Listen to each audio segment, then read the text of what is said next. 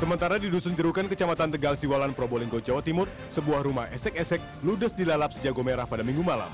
Diduga rumah ini dibakar oleh tiga orang misterius saat pemilik rumah sedang mandi. Beruntung nyawa pemilik rumah bisa diselamatkan dari kepungan api saat mandi oleh anaknya sendiri. Menurut saksi mata, awalnya melihat ada tiga orang di belakang rumah sambil membawa senter. Ketiganya diketahui langsung melarikan diri usai membakar.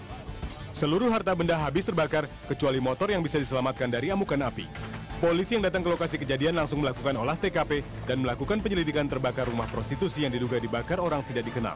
Meski tidak menelan korban jiwa, akibat kebakaran ini kerugian dialami korban mencapai 60 juta rupiah. Tim Liputan Transmedia.